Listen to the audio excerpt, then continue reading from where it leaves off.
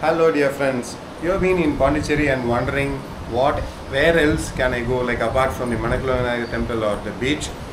Near Pondicherry, around 10 kilometers towards Verdavur Road, we have a place called Sampoorna Water Park or Pogo Land.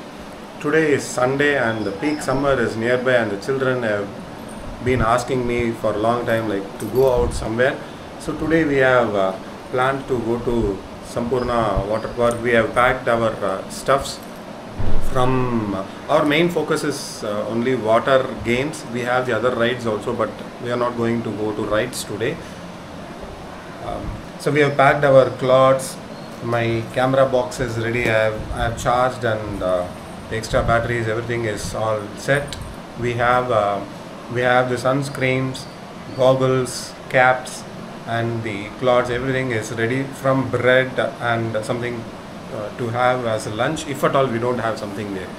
So this video i will be giving you every detail which is needed for you right from what is available there what you have to prepare and how you can go there and come back. So let's get started. I'm going to start now. I'm going to just so I, I do not have a Hello, hello hello, okay So I do not have a swim dress. Maybe if I have something there, I will buy it out. Or otherwise, I have to just use this, the regular uh, shorts and uh, t-shirts which I have. Hello. So I will use this to get on in water. Uh, we have to see whether they are allowing that or not. Actually, my son is ready. He has a swim dress and December, December, my daddy, December, my daddy paya.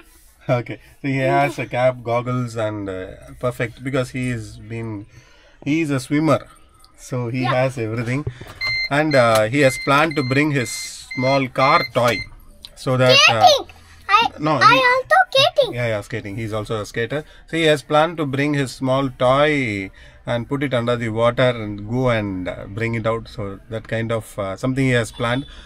Okay, so let's get started. I have to take money first because I, I don't know whether they are accepting uh, GPay or any way of uh, digital transaction because there is no clue from the website or we don't find anything other than the one the reviewers, uh, the visitors provide.